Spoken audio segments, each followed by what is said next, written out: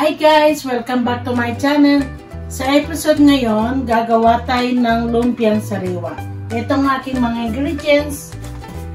Mantika, garlic, onion, paminta, salt, chicken, singkamas, carrots, cabbage, at ito naman ang aking panggawang sauce, peanut, brown sugar, soy sauce, uh, chicken cubes, garlic, at itong aking flour, water, nasa 2 mug cup.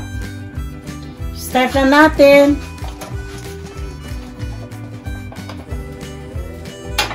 Lagyan natin ng mantika.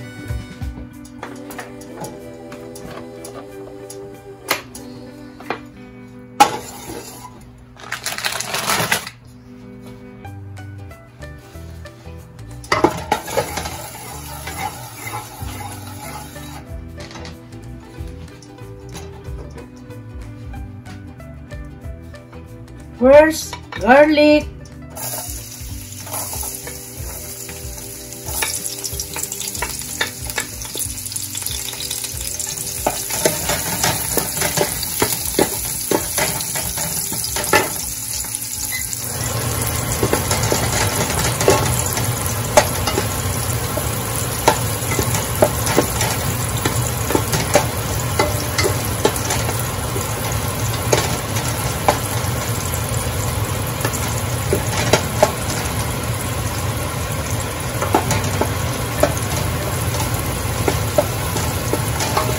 I-add na natin ang ating onion.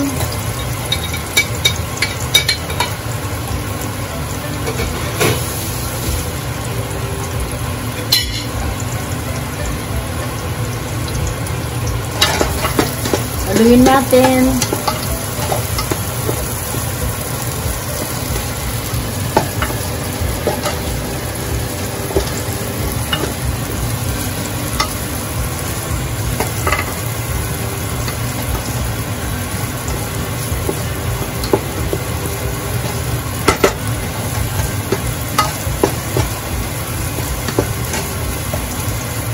Pag nag-golden brown na siya, pwede na natin yata ang ating chicken.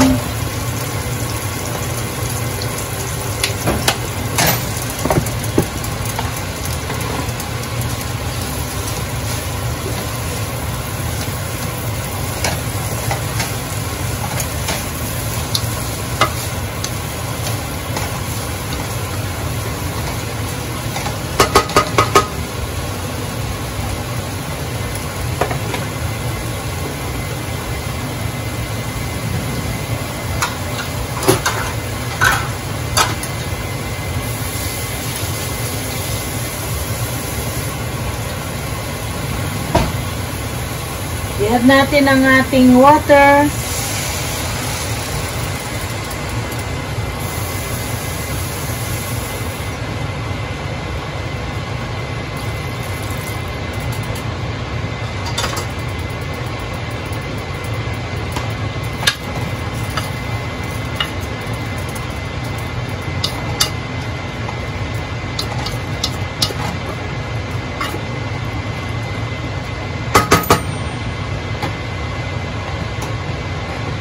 Lagyan na natin ng salt. Konti lang para di masyadong malat. Kaya lalagyan pa natin siya ng chicken or cubes. I-add naman natin ang ating paminta.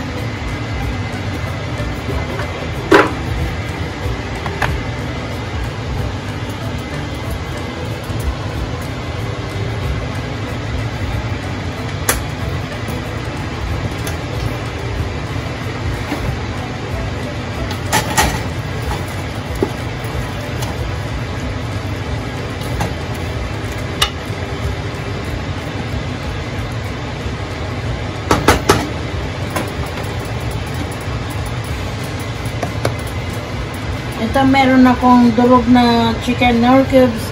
Pero mas gusto ko. Ito na lang. Kasi, yan. Malasa po yan.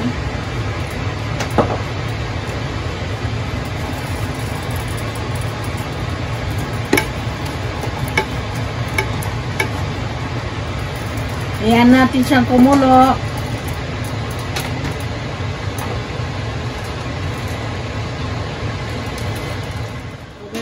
natin.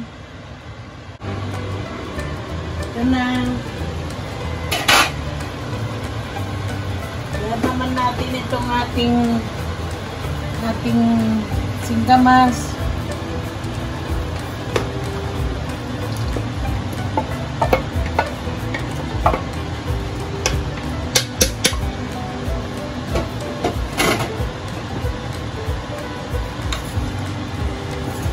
Haluin ko lang.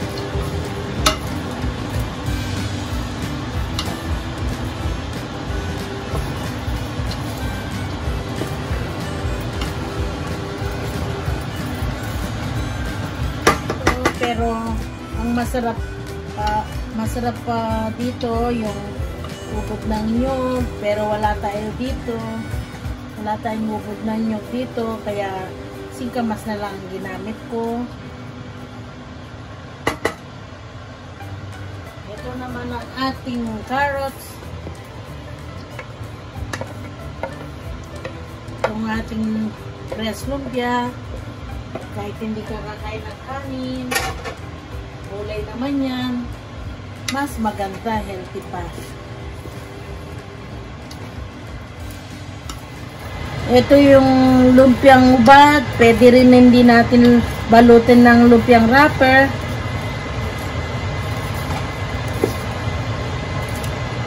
actually marunong naman po akong gumawa ng lumpiang wrapper. Kaso may pupuntaan kami kaya nagmamadali ako ngayon. Kaya hindi na ako gagawa ng lumpiang wrapper. Next time na lang para ipapakita ko sa inyo kung paano gumawa ng lumpiang wrapper.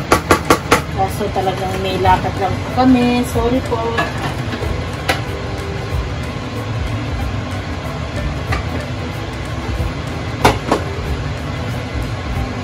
takpan lang natin Tingnan na natin.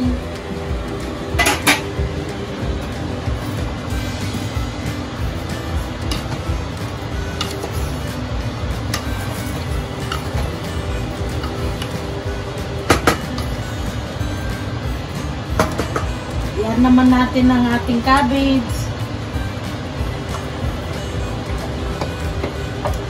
Pwede rin pong lagyan ng patatas, potato.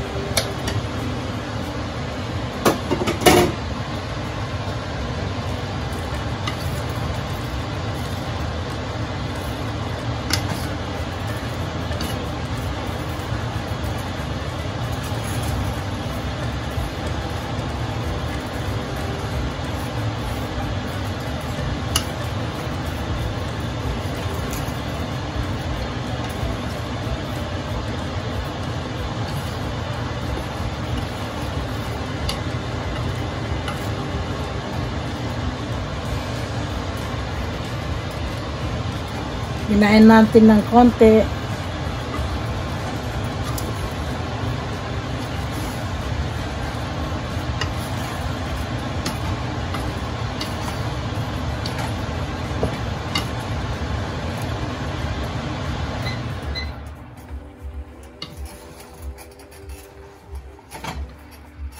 Malapit na maluto, tapos gagawa tayo ng lumpiang sauce.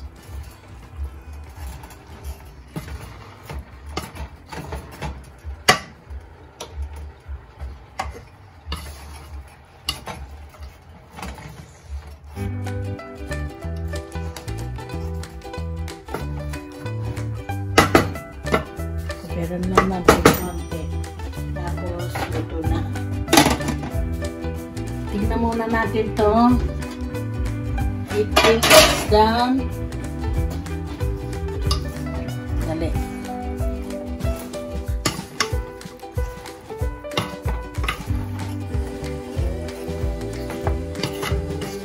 Okay, give, give more 5 minutes. Proceed naman po tayo dito sa ating ah, lumpiang sauce. Gagawa tayo. Sauce.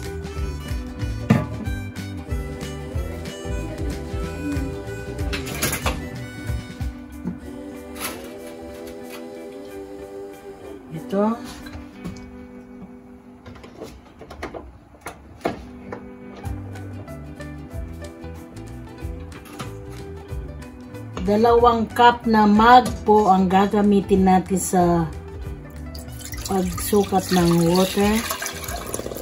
Yan po ang ginamit ko, dalawang mug.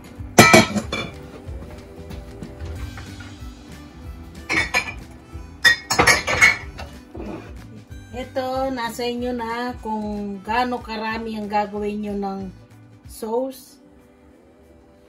Lagyan natin siya ng ah, nasa kalating tablespoon ang ating sauce. Ito po ang ginamit ko, 2 cup na, eh, 2 cup na dalawang nasa 1 tablespoon po pa lang nagamit kong soy sauce dito sa aking sauce. Ngayon, i-add naman po natin ang ating garlic. Isang buo po ito.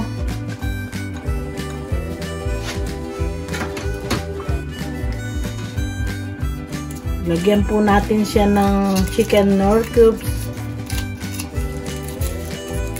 Isang piraso.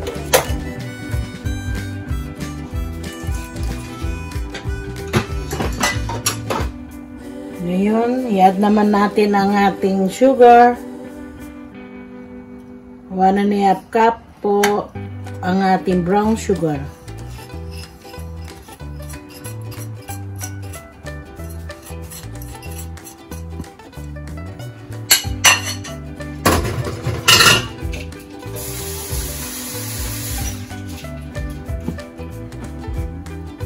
Ito naman ang aking flour. Kalating cup lang po. Pwede rin pong gumamit ng cornstarch. So, naubusan lang po ako. Kaya ito, flour na lang ang ginamit ko. Pwede po yan. Haluin natin hanggang madurog yung ating flour.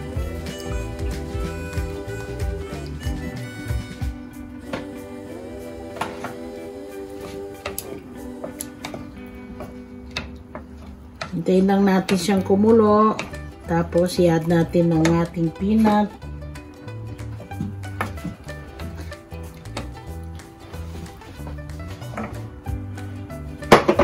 Tignan na natin ang ating lumpiang gulay.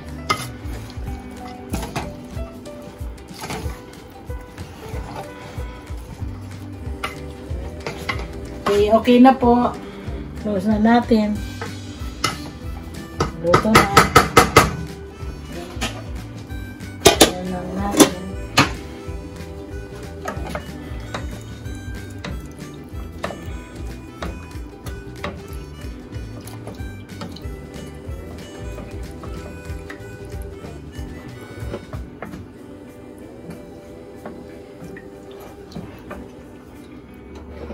Basta sinasabi ko lang po, nasa inyo na kung hanggang kung gaano kadami ang gagawin yung sauce sa ating lumpia.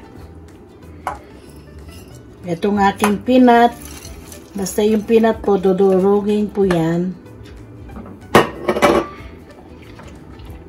Para malinamnam. Kailangan may peanut siya.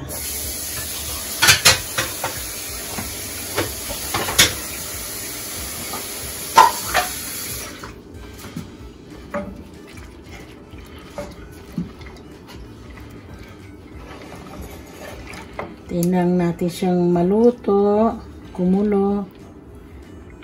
Ito ang paborito ng anak ko. Yung panganay. Basta gulay.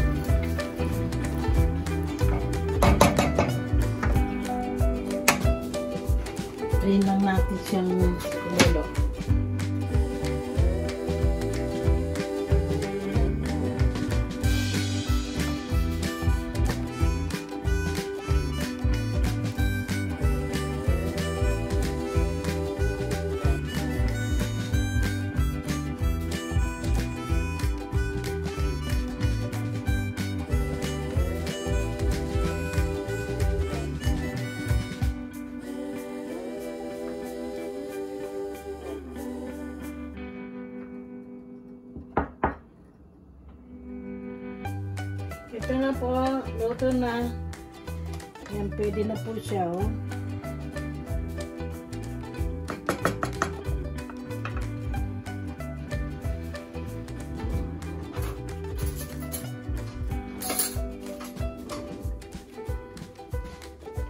Tayo na natin. Tignan natin ng konti.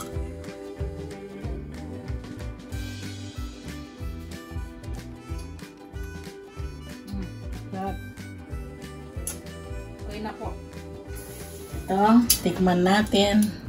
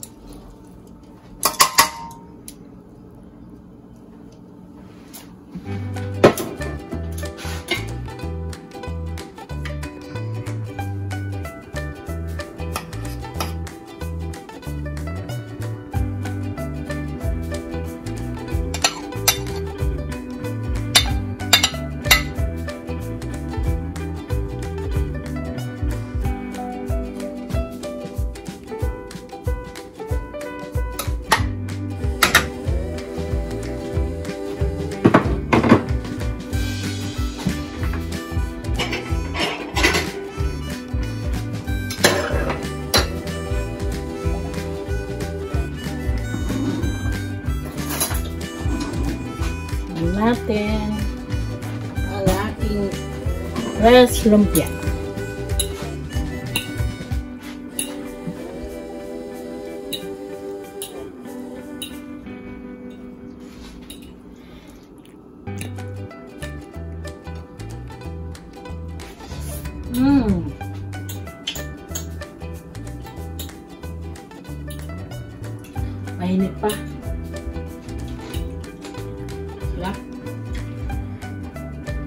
Kain po tayo.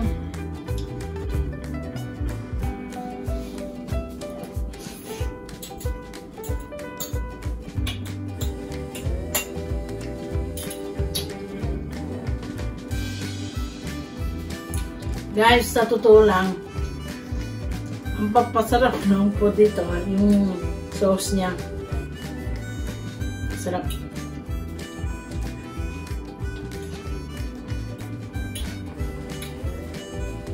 Pag nakuha mo yung tamang tibla mo, siya pong nagdadala niya sa lumpia natin.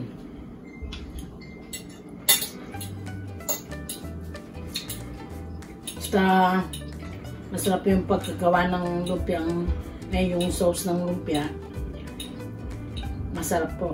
Siyang nagdadala yung ating sauce. Mmm.